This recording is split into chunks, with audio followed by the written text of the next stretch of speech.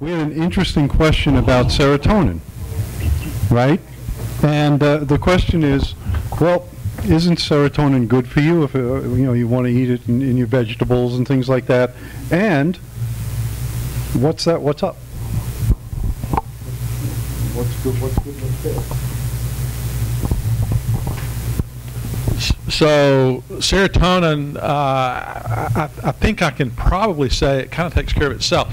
If you get too micromanaging your serotonin, you might be a little bit too compulsive if you look at diet part of it. So what we uh, instruct people to do uh, during a collection for 5-HIA would be to restrict or, uh, you know, serotonin, tryptophan-rich foods that would artificially increase the serotonin. And it all depends on what your 5-HIA level or serotonin level. If your 5-HIA is 150 and your dietary component to it is uh, yeah, from, from bananas and tomatoes and walnuts and kiwi fruit and things, then restricting that during it might not make a big difference if you're way up there at 150. But if you're down around below 50 for sure, then the dietary component is, is important. And one of, I, I, you know, just the stories, anecdotes. Uh, you can't stay away from this, but uh, I had a 70-year-old man who flushed, and his serotonin, his 5-HI came back at 30.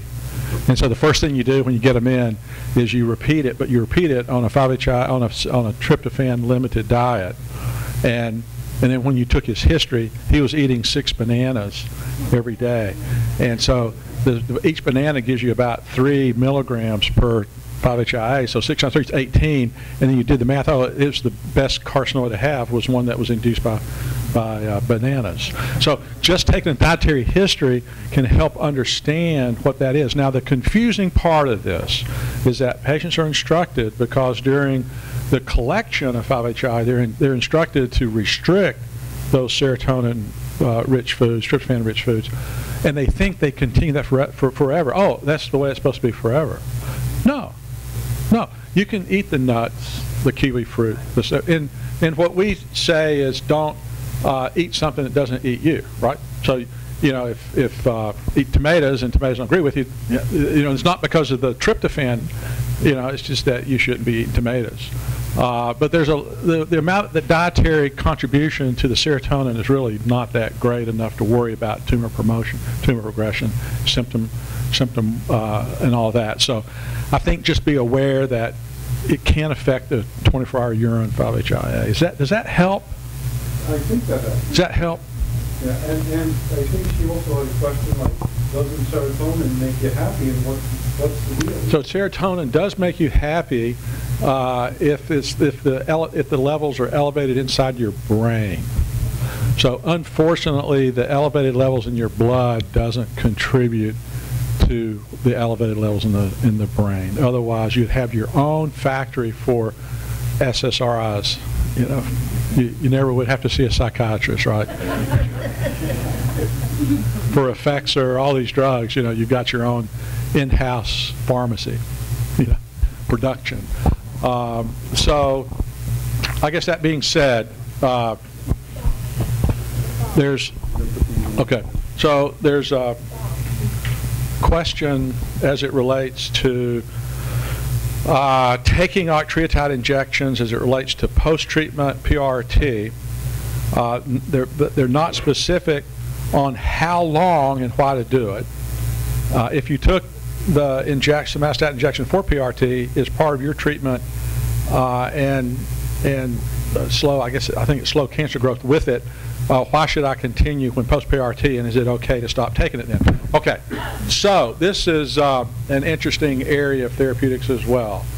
Um, the, the data is not there to guide us specifically to use uh, the somatostatin analogs post-PRT. Uh, the data suggests that you do better if you're on the somatostatin analogs post-RT. And when we go back and look at the NETTER-1 trial, we can see on the control arm that was just somatostatin analogs without PRT. Even when they progressed, they did their quality of life was higher uh, on the quality of life forms that was published uh, uh, earlier this year. And so we know somatostatin analogs is a quality of life drug in addition to slowing tumor growth. So as it relates to PRT, some of my patients aren't on the analog going into PRT for various reasons. They're not on it. Most people don't get PRT unless there's an indication of either worsening symptoms or the tumor progressing or something a little bit in between there. So if they're not on analogs, I don't put them on afterwards because why do that? They're not on it before. so I think this question is one that if you're on it, PRT is really doing its job, you don't need it anymore because it's killed the cancer cells. The only problem is it doesn't kill enough to really deal with uh, the hormonal secretion. So the NETTER-1 trial did not report out 5-HIA and serotonin. It wasn't part of it. So we don't know. It'll take post-approval data to tell us what happens to these biomarkers. We suspect they go down some, but how long they slow they go down. So we uh, are very interested in that question of how somatostatin analog should be used post-PRT. I think at this point it's going to be on an individual basis, and there's not going to be a hard answer. Do you have any comments on that, Tom? Yeah, I think, I mean, you hit it right on the head, which is that, um, you know, all the studies that we have now show that the somatostatin analogs, in addition to PRT, uh, certainly augment the effect of PRT during those treatments. Now, as Dr. Anthony was mentioning, many folks who are already on somatostatin analogs, it makes intuitive sense to continue folks on it um, because it does seem that there may be some combined continuing effects of the PRT in, in addition to the somatostatin analogs. But I think for folks who weren't on them before, um, I think that's kind of the million dollar question. So we, we don't quite know, but, but I think what we do know is that when you're delivering PRT, it works better uh, with somatostatin analogs. Okay, let's go to the next question. Um, how do you know if your serotonin levels are causing your symptoms? Dr. Das, you want to take that one on? Um, so also a great question um, because sometimes, as, um, as, you know, Dr. Anthony is mentioning, uh, symptoms can happen for a variety of reasons. Usually, there is some correlation. I mean, folks who have kind of florid carcinoid syndrome, classic diarrhea and flushing, usually the levels of the 5-HIA are, are elevated. Now, uh, in some cases, they they may not be, and um, sometimes that really comes down to the question of what assays you're using to measure. Um, you know, we we know that things like the 24-hour urine um, are very sensitive to, to pick up serotonin levels, but it's also a pain because it's you have to collect it over 24 hours. Um, you know, I, have actually started to move towards getting blood uh, to, to measure uh, 5-HIA levels, um, but again, I think there's still more work that needs to be done to look at the, the correlation. But in general, in my experience, I found that very few folks who, you know, have kind of florid syndrome or syndrome symptoms don't have an, uh, an elevation in 5-HIA, and it may not be one-to-one, um, but there may be some elevation. So we did really not talk about uh, mechanisms of, of flushing uh, and other things these tumors do. So when there's serotonin, when there's a, an amine being secreted, there's also what are called neuropeptides that are being secreted. This is not a single active one hormone. So there's a product called uh, substance P that's commonly secreted that's more implicated in the flushing component to it. So this is kind of a, a, a, a gamish of products that these tumors are making, and that's why people's symptoms vary. So some people will flush and have no diarrhea. Some people will have diarrhea, not a single flush. And then you'll have the flushing and the diarrhea together. And, and so it's all dependent on which mediator is active. We think serotonin has connections to the diarrhea part because of the gut part. Uh, but it's more than just serotonin. Carcinoid syndrome is a lot more than just serotonin. Uh, so when my journey is over and I want to donate my body for NET specific research, how do I make that happen? Dr. Iyer.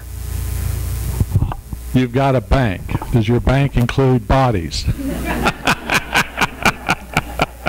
Such, uh, you know, that's uh, whoever sent that question. I, I applaud you. I thank you for, you know, it's not easy to face mortality and even think that far for many people. So I thank you for that question. I have been asked that question before.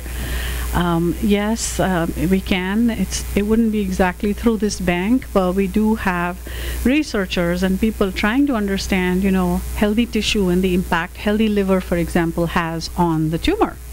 And that's hard to answer because when we do surgery or uh, get a biopsy, we only get the tumor. We don't get the healthy stuff, you know, because that's not needed. And I think that that is what some of these um, autopsy studies allow us to understand. Another thing that we also understand from this is other tumors in different locations different? Now, we biopsy the one that's most readily available. We biopsy what, you know, we can reach, but, uh, but that is something we can also understand. Are bone tumors different? So yes, we do have a uh, autopsy program at Roswell, not exactly the neuroendocrine bank, because this one is set up for you to say yes and participate, answer questions, and so on. So you can participate in the bank now, and God forbid, down the road, uh, we can send you the forms for, for all the other stuff. Dr. Das, what goes on at Vanderbilt? Yeah, so I mean, I think the, the same element, um, you know, our, our, our pathology labs and, and folks, there's always um, ability to, to do so, um, just almost like a, an organ donor uh, component. Uh, there are registries through Vanderbilt as well um, uh, that are accessible um, uh, to, for folks to, to contribute to, to science, um, you know, after, after their time. So I- I'm going to sort of be the devil's advocate. I hate to be negative, but uh, medical education has transformed uh, immensely over uh, the decades, and now gross anatomy no longer is as intense with the human body as it once was.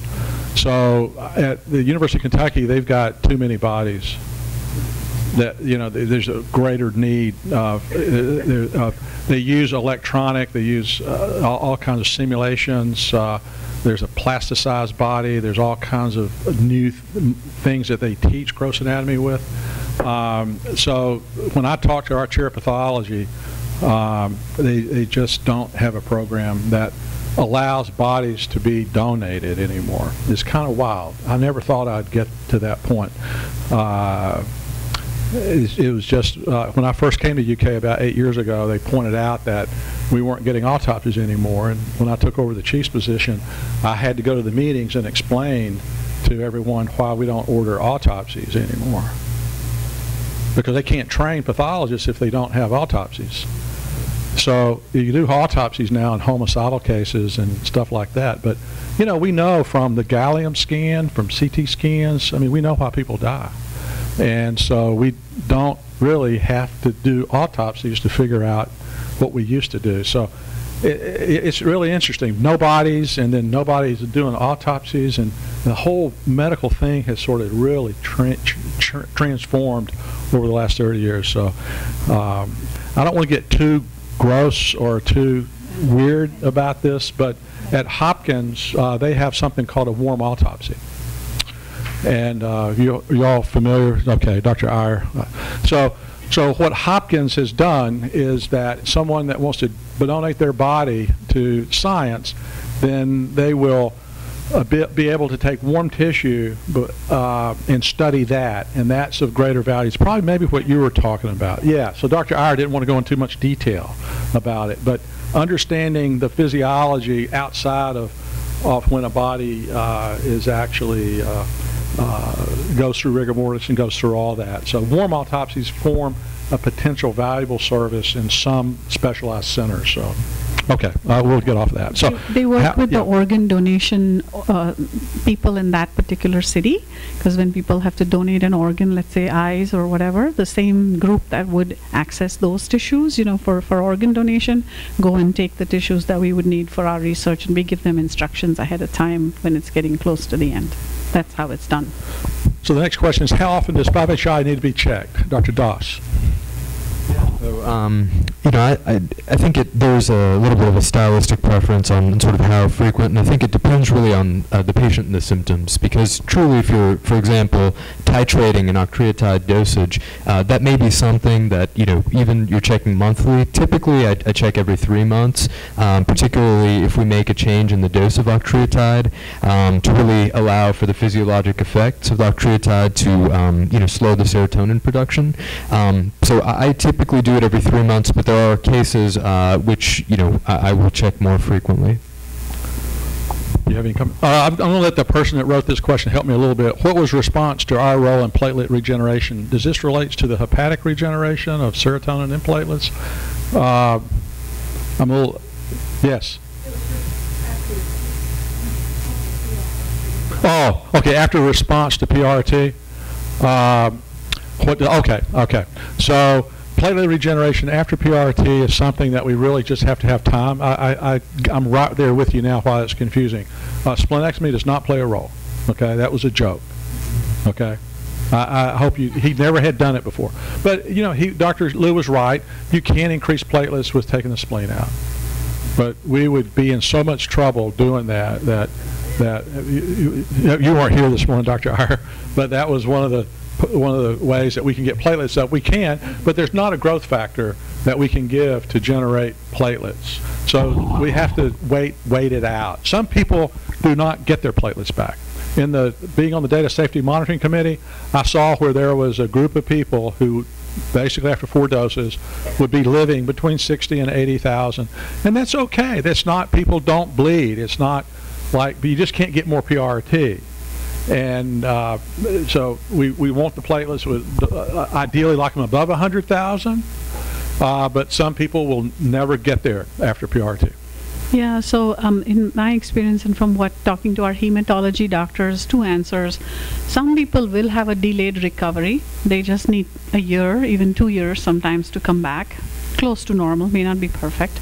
And then there's another group that may not recover, like Dr. Anthony said. And there seem to be um, this isn't just with PRRT actually it's with certain chemotherapies too. Some patients just have bad bone marrow you know responses. They need much lower doses and we don't understand why. So there have been studies done on bone marrow biopsies and now some like all these genomic tests that we have that are under learning that there are some clones, certain mutations or things that are predisposing people to have that kind of response. And so some of these uh, sort of clonal hematopoiesis problem clinics are starting in the country in certain centers, Cleveland Clinic, certain places. So they're hoping to sort of a priori, once you give, let's say, I expect to give carboetoposide for someone with high-grade neuroendocrine and the counts just don't come back for me to give the second dosage. There's no disease in the bone marrow, then why did this not come back? This person's only 60 years old. They've not had prior chemo. Why? And when they do some of these studies, they're understanding that this person was predisposed. Maybe their dose needed to be different, or maybe we shouldn't have picked the carboplatin, or whatever. So I think they're trying to do those things, but we're still learning. We're, we're not there with the final answer. Regarding lung nets, what would you recommend for post-surgery long-term follow-up? You want to take that one, Dr. Das? Yeah, sure. So, uh, so again, you know, I think some of it depends on sort of the pathologic specimen, right, of what the lung tumor showed. Um, you know, I think Dr. Iyer had identified that Ki67 is a little bit more finicky and hasn't been used in lung neuroendocrine tumors. Actually, mitoses are, which was sort of what we talked about a little bit earlier this morning too, which is another indicator of how active cells can be. So typically, um, you know, it, depends also what kind of scan was done prior to the lung uh, resection. So, for example, if a gallium scan was done beforehand and this lung tumor happened to have gallium expression, um, you know, at some point it may not be unreasonable to, to get a gallium scan. But typically, CT scans, um, uh, you know, for, uh, again, the, the follow-up is sort of dictated by, I think, what was seen on the pathology specimen. So for a, a typical lung neuroendocrine tumor, uh, which tends to be kind of the equivalent of the well-differentiated gastroenteropancreatic neuroendocrine tumors, getting a, a, CT scan at maybe three months and then spacing it out thereafter um, is not unreasonable. The, the typical carcinoids do well. Their 10-year survival is 90% plus. So if the pathology was done right and you know everything was stained and that, that biopsy was correct, then chances of recurrence are less. So when chances of recurrence are less, then the follow-up can also be matched and be less. In terms of what scan, I completely agree. It depends on what showed the disease best. Atypical carcinoids, some are better seen on FDG PET, some are better seen on gallium, and some don't show up on either of those scans and really only on CT. So sort of doing two, three in the first year and seeing what is giving you your best answer. Little bit it's also dictated by insurance, let me tell you. if you try to do too many gallium scans, they're not very happy. So, so sometimes you have to find a way to find that happy medium. Post-op lung nets. Uh, I do not have carcinoid syndrome. How do I avoid developing the syndrome, and what determines the syndrome? So in uh, in lung um, carcinoids, the likelihood of having um, syndrome is less. It's about 10% is what the books say. Um, so in in the absence of disease, the likelihood of having syndrome is less. But could you have some reactive airway disease? There is something called DIPNECH, um, uh, sort of a reactive condition in the lungs that is like carcinoid but not quite. Um, so sometimes we have to check and see if there's something else that's not exactly um, carcinoid recurrence that might be causing the person's uh, symptoms. But often, if you are having carcinoid syndrome, wheezing, chest tightness, etc., um, and it's not asthma, it's not something else that's more common, uh, the, the disease that's causing it should be visible. It should be visible. One other thing to add is, again, lung nets, although rarely functional, they can produce histamine as well, which sometimes can also cause a syndrome in its own right um, with those symptoms. So. We call that the sort of atypical carcinoid syndrome, and it works a little bit differently, where you see more uh, swelling and more histamine kind of reactions, where the body can be total body. Okay, Georgia has no net specialist that we're aware of. What would you recommend? Emory is uh, probably where you should be looking if you want to stay in state, or you could go out of state. But uh, Emory does have a, a, a forming group. They're superb on imaging.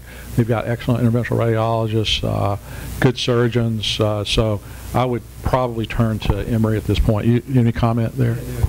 There's also a, uh, a medical oncologist there who focuses on uh, neuroendocrine tumors, uh, Waleed Shaib. Um, he was actually my fellow when I was a med student there. He's fantastic, but so he's there too. So I'm waiting for him to show up at NANETS, and then I'll start promoting him. So NANETS is a North American Neuroendocrine Society. It meets once a year. This year, it's next month in, in Boston.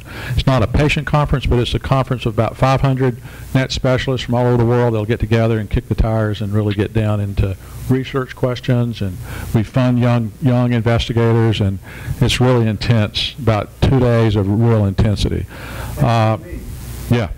And they, you know, I'm not, we go to Vermont. Oh. He's got, he's got a. Yeah. Yeah, that's the next day. That's after the conference, though. Okay, so he, see, Bob has to get his two cents worth in here, which is critical. So while the experts are assembled, he's taking full advantage of that, but it's really outside of NANETS. But it's brilliant. You're a genius, so I applaud you for it. Do it. That's great. Okay? I mean, you, you might as well. You might as well. Okay. Lung nets, well differentiated, grade one, grade one, KI67, not mentioned in the surgical path report. Should the KI67 be routinely measured? This is always a good question. Yeah, so you know, 1998, it's been a long time. That's where the guidance sort of document came from on how to do the scoring. And, uh, and you know, three is the cutoff in the lung, and two is the cutoff in, in, in the GI and outside the lung for KI67 if it's done. So you can't really fault that pathologist for not doing it. He's reading that paper and all the guidelines. But could it add some value? Yes. And I think the one place where we find it a little bit helpful is sometimes people get a fine needle biopsy, so they can't really count mitoses. You know, for mitoses, you need so many high power fields, but you can at least spin the cell block down and do the Ki67 on the block. So that's maybe a place where currently guidelines, evidence based, you can use it. But I think if you really want to know, you can certainly ask. It doesn't. It doesn't take much to get the answer. Okay, very good. Uh, flushing. What is flushing, and what symptoms come with it? Yeah, it's a, it's a great question. So flushing, what we think of flushing is just like serotonin can affect different components of the body in terms of organs, um, they can also uh, actually affect blood vessels and the nerves that travel with blood vessels. So we think of flushing as what we call a vasomotor type of response. And so it's actually the effect of serotonin and the receptors on, on blood vessels, which basically causes, um, you know, sort of sequential dilation and a lack of dilation. So it's it's literally exactly like sort of the word, which is it's almost folks describe it as almost like a um, a heat wave. Oftentimes starting from the head that, that goes down. Um, the face and, and torso or chest are the most commonly involved, but folks can flush um, in a variety of different distributions. So it's different from a flash, right? Hot flashes, different from a flash. So I I think where it gets very interesting here is that males, as they age, really don't have hot flushing, don't have flushing. So it's taken a little differently. Females, as they age, flushing is physiologic. So there it gets really confusing. So, so it's up to, I'm going to say the healthcare system to help the, the individual distinguish what's physiologic versus what's patho- pathologic. So physiologic vasomotor symptoms, particularly whole body, whole body, and it can be wet. With carcinoid, hot uh, with a uh, flush from carcinoid, it's upper body, and it's dry. So some people, if you're going through menopause, have both. Yeah, It's pretty amazing. I think one young lady here wish she was flushing again because she stays cold all the time, so she wants to flush again. So, um, so, so the other th- way we do it is is what provokes it. With carcinoid flushing, the five E's provoke it. So it would be emotions, whether it's happy or sad, exercise, ethanol, uh, epinephrine, and there's one more in there. So, uh, eating. So eating sometimes is hot foods might do it, certain cheeses or something. Uh, so, so you kind of have to kind of, and then with physiologic flushing, then those uh, things may respond to suppression with estrogen replacement. Doesn't mean you need to be on it, but you know we don't expect a carcinoid flush to respond to estrogen to hormonal. Okay, get off of that. You got anything? Yeah. We were both talking about this flushing thing. Um, I'm trying to, before I was diagnosed, I had these weird symptoms that I would consider flushing because I wasn't sure exactly what this flushing felt like, but I would get hot all over my body, sometimes for hours. But then I would get tachycardia and the diarrhea would start. And, I mean, is tachycardia involved with that at times as well? Is that a symptom? Interesting. Because, you know, we saw this morning, tachyc- I mean, this afternoon, serotonin can drive that, that atrial It rate, really felt absolutely. like I was either Yeah. being plugged into something or I was being unplugged. So what she brings up is the difficulty in diagnosing the syndrome. Very vague, confusing. So, yeah, and, and then the redness, if it's total body, that's vasomotor throughout the body. If it's focused more face, upper body, maybe the hands and the feet, that's more carcinoid. And then if you are wheeling up, it's more bronchial, particularly if you have facial swelling, lasting for hours sounds like bronchial. Or, or, I or have not. sarcoidosis. So it was, it was what? I have sarcoidosis. You see? So you're throwing a lot of different things at the medical system, so you can see complications. So I've had the sarcoid carcinoid patient, and it gets real confusing. Uh, Okay, so that's probably enough about that topic. Uh, Okay, uh, for Dr. Iyer, how old can your tumor sample be? In- No, no, how, I guess how old, uh, like, can the sample be a year ago? Can you have had it a year ago? Yeah, Any, like any, any any, age, any yeah. There's Yeah, no age on it at all? Yeah, if the sample is, let's say, 20, 30 years ago, odds are the lab doesn't have it anymore. But doesn't matter how old it is, um, as long as the, the lab would release it and send it to us. Um, but uh, when we look at the sample, let's just say for whatever reason, how they kept it or preserved it or something, there's been deterioration in the quality of the DNA or whatever, then we just won't be able to use it. But uh, but most of the work that currently assays that have been developed are good enough to account for that. You know, they'll they'll use more cells to get enough DNA of good quality to get the answer. Okay, my tumor was found in my ovary. How often is this the primary and only tumor? Still very new to this. So, I mean, uh, quite it's quite rare that uh, you know just a, a, de novo ovarian neuroendocrine tumor is there. Typically, we see um, actually uh, colon or sort of more hindgut neuroendocrine tumors. Uh, the the ovary can actually be what we call kind of a almost a sanctuary site. Um, there's some almost like a, a drop metastasis, meaning one sort of neuroendocrine cell could have broken off, and instead of lodging in the peritoneum, it kind of binds in the, the ovary. Um, but as far as I know, kind of a de novo neuroendocrine tumor in the ovary is quite rare. Yeah, so th- this is where you really would benefit going to net specialist because um, it has to be thought of. Why, if it's in the ovary, we would be thinking it's somewhere else. And maybe it went to the ovary and started in the ovary. So there's plenty of literature supporting primary ovarian carcinoids, but we know that drop mets to the pelvis is common.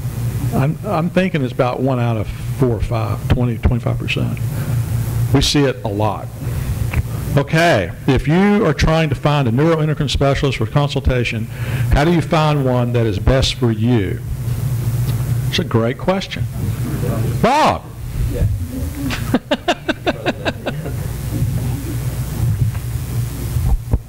Well, first off, where do you live? I mean, if there is one close, it's okay to fly to Denver, but if you happen to live in Kentucky, you might want to consider Dr. Anthony. Uh, Number two, have you been to one? And number three, you really have to make that choice based on some kind of a background or knowledge. So coming to these things, I'm sure you're sitting there and have formed some opinions about what specialist you'd go to. And it is an individual thing. You can't go to a doctor that you don't have confidence in. So pick one that you feel confident. How do you keep up with We, we don't have a list on our website because we do feel it's, it's a, it's a individual thing. So to put a list that, like you'll see, and they are out there, uh, you can find lists of specialists. Uh, we get, we get emails two or three times a week saying, yeah, some specialist, he wasn't even there to see me. So, but that's not us. That's why we don't do it, because we want you to be able to have a, a better idea of who, who these folks are. No simple answer. You should do some research, and, you know, that might include speaking with us, coming to conferences, those kind of things, checking out what, uh, what's available, who's available reason, uh, regionally, and, uh, and then, you know, trying, trying. Yeah. It, The first one may not be the one for you. So, dot .org, yeah, carcinoid.org, yeah, I was just going to say. Yeah, I do have a list. Um, They That's have a system where carcinoid.org, just adding to what you just said, um, have a way of um, asking, so you can't really just get listed there, somebody who's already recognized as an expert and your CV listing that you've published and you're really actually contributing to the field. So they have like a vetting system. And if, if you meet those criteria and get two letters of recommendation from, you know, known experts, then you get listed on that website. So that's one place you can look. But if I were you, I would always just you know, like he said, feel confident, you know, even though, um, you know, you're not a Toyota dealer, but if you have to buy one, you know, online you can do some research, and when you're in there, when you talk to the person, you know if this is the right thing for you. We all can learn when it comes time, uh, you know, for us. And I think one question always to ask is, do you have a multidisciplinary conference? Do you have a multidisciplinary team? Are you routinely talking to the surgeon, the medical oncologist, the gastroenterologist? Is everyone there? And once you know that they are routinely talking and they're all in the same building, we bump into each other in elevators all the time and we talk about, you know, patients. So I think just knowing that they're all there should maybe give you confidence. When should you have repeat dotatate scan after the first one?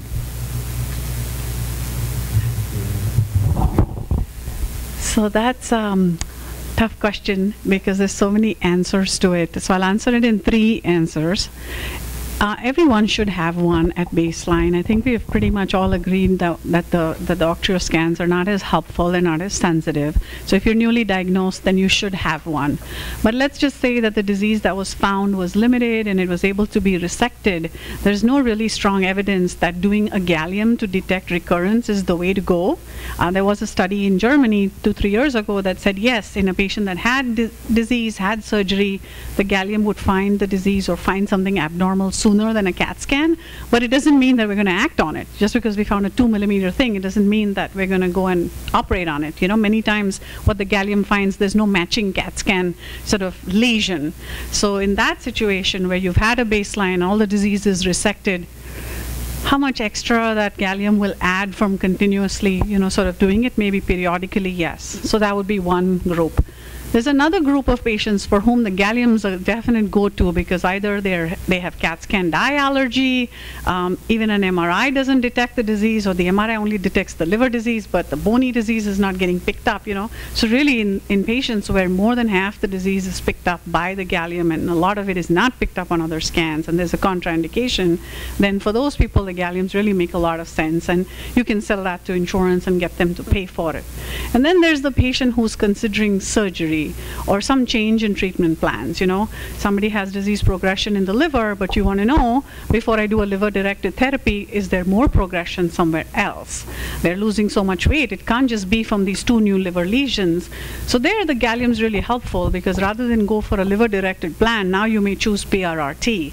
So, I think when a big treatment decision has to be made, you know, um, that could be another place. I think those are the three places where the answer is a little bit more, in my mind, clear cut. But for the majority of patients, doing it every two to three years or once a year, perhaps at the max, is what I do. Yeah, and I think just one addition to that is sort of in the PRRT period. So, you know, you, you get a gallium dotatate scan prior to starting PRRT. You know, when should you get one? I typically, after, um, I typically don't image folks in the middle. I usually get a gallium dotatate scan uh, about a month after PRRT is complete uh, to kind of truly compare apples to apples. Um, you know, but one caveat, um, and I think I've told several of you guys today, this is that, you know, the post PRRT gallium dotatate scan can take time to evolve changes. So even, for example, a month after, let's say that something hasn't shrank or um, it, it, can evolve over time and change to shrink. So just remember that caveat that even sometimes the first dotatate scan after PRRT may not always immediately reflect the treatment and its ongoing effect. For someone who has never had gallium-68 with unknown small bowel primary, is there a certain amount of time a person must wait after chemoembolization in the liver before a gallium-68 can be done? Hmm. So I, am not sure if the question is to see So what happened to the response or to find the primary. So I, I possibly, I guess they're connecting it, thinking that the embolization could cause some healing, some false positive. I think they're maybe address it from inflammation, healing, versus, you know, is there a lymphadenitis or is there, you know, could there be some sequelae of a chemoembolization that could cause a false positive scan or not? I have not done generally gallium scans that quickly. I tend to wait three months, and um, you know, usually, like we were saying earlier, using whatever you used at baseline to help determine uh, size is best. And generally, for post chemoembolization, CT scans are best. We have something called modified RECIST criteria, which means they tell you what is the size, and they also tell you what is the viable tumor size. Because if you do just size, you get two by two. But if you do how much of it is dead, half of it may be dead. Now it's two by one. So, so, half of it died. And so that sometimes gives you more than a gallium, you know, in terms of uptake. So I would say about two to three months, get over the side effects of the, of the embolization and feel better, and then somewhere in that two to three month period would be a reasonable time to uh, get scanned if, if they felt that it was going to help decision making. Um, Okay, uh, I think we had this question earlier, do grade differentiation change with disease progression? And I think we touched a little bit that the grade, it could have been complex grading from the very beginning, but let's say, for instance, that um, the, there's indolent disease for three to five years where you got it right from the biopsy, and then after that, is it possible for the, the disease to de-differentiate uh, when the tumor starts to grow? Is it, does it need, and I guess the real question here, do you need to re-biopsy it uh, at the time of progression? So both answers, you know, sometimes it does and sometimes it doesn't would be the answer. Um, so if there's like a more global, let's say somebody has a low grade or an intermediate grade tumor and things have been progressing at whatever, three millimeters per scan rate, and now the last two scans, things, new things have popped up, and sort of a global change everywhere. Things are changing and growing. Um, odds are, even if you biopsy that, and it was a Ki67 of 4%, it'll probably still be 4 or 5%. So they still show the same Ki67, but they're acting a little bit faster growing. And whether that has to do with the total tumor burden, now the immune system can't hold it down, or the tumor has some other features that we don't appreciate or understand, or there's some flaw in how we stain, I don't know. So that's one group when there's global disease progression that we tend not to biopsy because more often than not we're going to get, get the same answer that we did before. But then there are patients that have like one thing growing. There's 10 spots, all those are fine, but there's one new spot or one spot that's growing at a much faster rate. And for those, if you biopsy often, those have de-differentiated. Those have become high grade. And the approach I have taken, and I know many of my colleagues have taken, is for that one, we would do radiation or, or treat it like we would treat high grade, but continue the Sando or whatever else for the remainder of the disease. So I, I don't know if that Okay, uh, the next one is what are the precautions used to prevent side effects of PRRT, such as anemia from bone marrow disorder or leukemia? I think again a great question. Um, right now, you know, we truly don't have uh, a ton of precautions. I mean, I think the precautions that we're taking are sort of thinking about sequencing, and I think there's a movement in the field, and um, this will probably be validated by some of that uh, NETTER-1 data that smaller lesions respond better to PRRT, and perhaps a role for earlier incorporation of PRRT before folks get lots of other um, agents, uh, such as alkylating agents, which can suppress the bone marrow. Um, but I think beyond that, um, and, and sort of beyond the, the doses that uh, that we give, I mean, sometimes um, I think a priori, without giving a dose, we don't usually sort of modify, uh, you know, to sort of protect the bone marrow. So i it's still a little bit of an experiment um, as to, you know, how we protect the, the bone marrow uh, at this point. Just to add to that, you know, as we were saying earlier when you had asked about those clonal, certain mutations or things that some people have in their bone marrow that are going to predispose them, that work is going on. So it's possible some years from now that we do some of that ahead of time and then modify the dose or say, okay, this individual will only get two doses of PRRT or get one millicurie instead of two, you know, matching it to what that person's bone marrow is likely to do once those studies are done, maybe in the future, but for the time being, we're monitoring your labs, you know, before each dose. And if someone's taking too long to recover after two doses, for example, and they've gotten the clinical benefit, we choose not to give them more if they don't match those lab criteria. Okay, let me just uh, sort of the closing comments. You all have been a phenomenal audience. Not just saying that, but I've done this quite a few times, and this audience has been very interactive, and it's uh, so rewarding to, to impart information to people that want it. So as a bonus, we've got like a couple of minutes left. I'm going to let one question come from the audience. And, and this question is going to have to be a burning question that did not get answered with this expert panel that we've had all day. Is there one question that if somebody leaves here, they'll say, you know, I, I spent all this time and effort and I, and I had my question and it didn't get it. Okay, right here it is. Okay, here. Okay, now. You got to talk to the with um, the research, do you think with more of um, Steve Jobs, Aretha Franklin, uh, this cancer will have more awareness, more dedication for research? It seems like it's very like when when you when you tell people like what this is, really no one has heard of it. Mm -hmm. And then when you, when you, Dave Thomas, yes, Dave Thomas, founder of Wendy's, yeah. And then everyone's like, oh yeah, I remember Steve Jobs and um, how he was trying, he was trying to do more of a holistic um, ways. There's, there's absolutely no question that when a celebrity, something happens to celebrity, it draws attention to that disease. I think Aretha Franklin being the most recent one. Um, uh, unfortunately, and maybe you're maybe a little closer to Detroit. Uh, I knew the as soon as I knew where her care was delivered, I knew who took care of her. So I started texting, emailing the person. I think he probably, you know, he played it really cool, uh, as I expected he would. Uh, no, I don't think Aretha's uh, the, the whole sensation of it, but I'm not sure that her intent was to promote awareness. It was certainly not Steve Jobs' intent. he did not have any intent to promote it, but, but, and then Dave Tom, yeah, so awareness comes sort of indirectly, where we sort of promote it, we talk about it, uh, but those three figures, Dave Thomas's uh, fortune went to orphans, uh, Steve Jobs went nowhere, he didn't want his name associated with a medical diagnosis. Stanford approached, approached him to name a wing after him.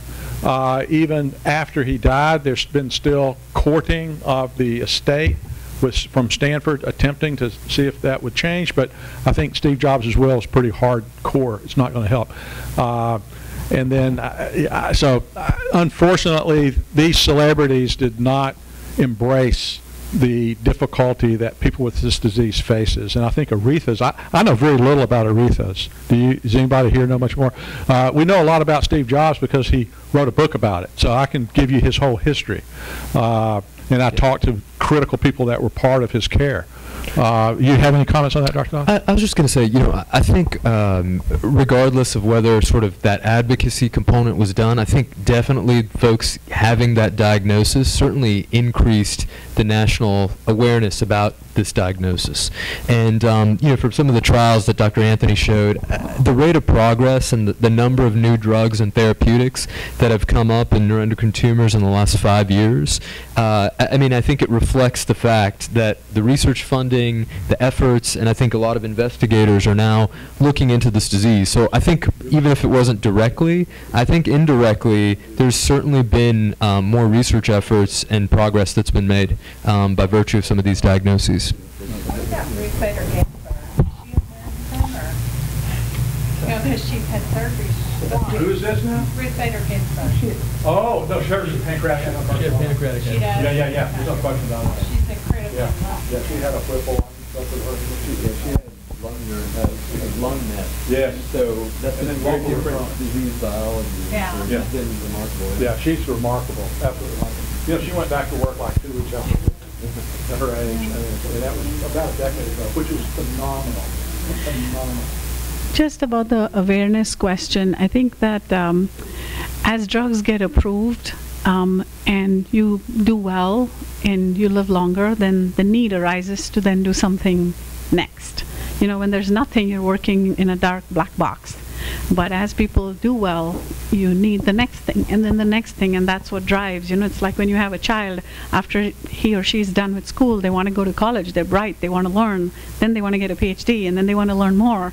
And so I think that's your survival, your success, your participation in studies is what's going to drive us all feeling the need. As doctors, we don't like to say no, we don't like to give up, we don't like to say I have nothing more for you. And so we're as committed to finding something to go to that next and next and next and take what we already have and refine it and do better with it. So that's going to be one of the big drivers of, you know, progress in the field. But also you should know that the Department of Defense, the DoD, periodically looks, that's the NIH is one place and the DoD is the other place. And so a lot of their requests for grant funding for the DoD this past year for the first time, they included adrenal tumors and rare tumors so that you can apply. In the past, it was all prostate, breast, you know, common things, lung. And uh, five years ago, they included liver when they realized that liver cancer is on the increase. And, and then this year, for the first time, they included rare nets and adrenal tumors. So, so yes, there is more attention coming and awareness coming that there is an unmet need. Yes, it's, uh, uh, having famous people have the disease, that's something to talk about, uh, but it really does still lie in our hands to, to uh, create and continue to push the awareness. Uh, And we can't get around that. We've, I've been doing this for 15 years. People have other agendas and, uh, you know, Steve Jobs, whatever his thoughts were, it doesn't really matter. We can talk about it, so that's good, because we can say, oh, this one had it or that one had it, but it's up to us to drive the awareness. And uh, I think that that's a key message. And again, I feel like I'm preaching to the choir, because everybody is here uh, wanting to uh, uh, increase their own knowledge and the awareness of this disease. So uh, with that, I'd like to wrap up. It's been a long day. And I hope that, uh, that everybody got a lot out of this, uh, this conference.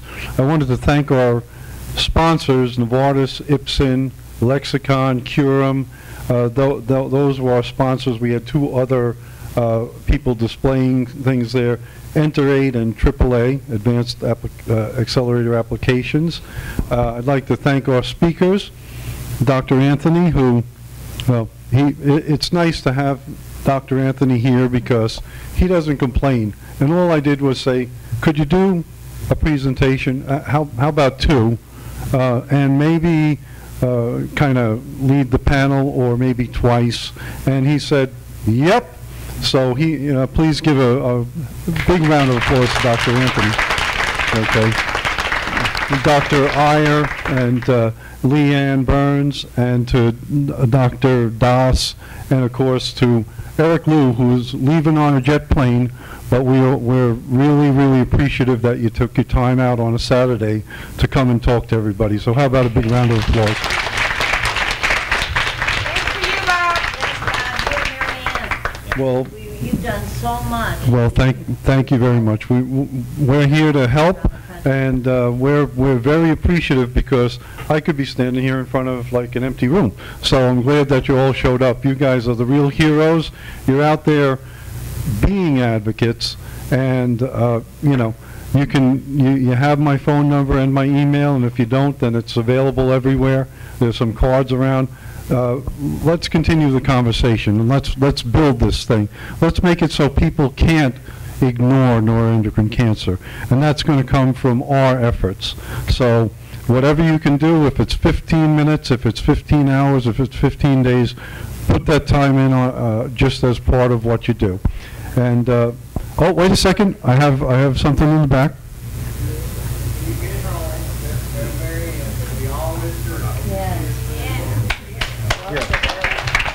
I will, I will tell Mary Ann, and she'll be very happy. She's very sad that she missed this, uh, and, uh, and she missed a good one. So we're going to stay around till, probably until 6 o'clock. I think there's some cookies and uh, pretzels and soda outside, so we're going to network for a while. So uh, we're officially dismissed, but we'll hang out.